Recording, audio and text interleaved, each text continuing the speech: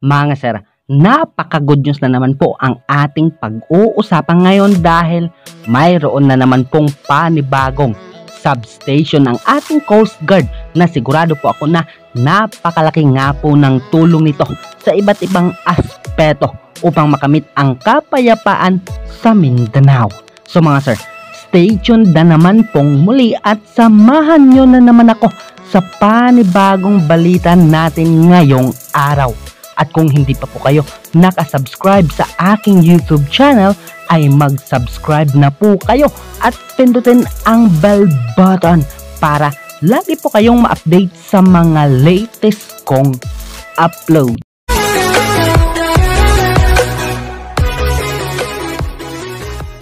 Mga sir, good news po sapagkat noong January 23, 2021 ay nagkaroon nga po ng isang inauguration ang ating Coast Guard sa kanilang panibagong substation na nakabase sa Sulu, Mindanao. Yes, tama po ang inyong narinig na nagkaroon na nga po ng substation dito ang ating Coast Guard.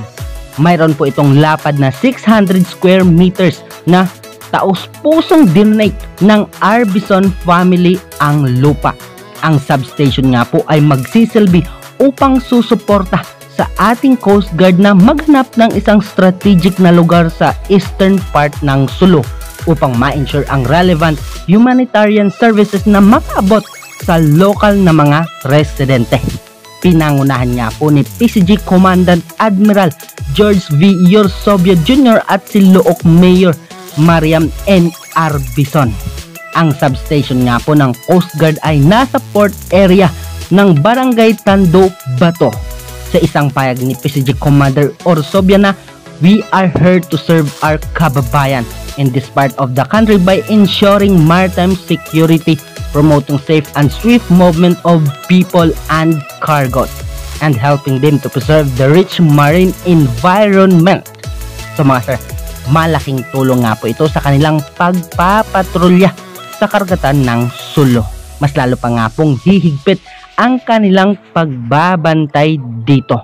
So mga hanggang dito na naman po tayong muli.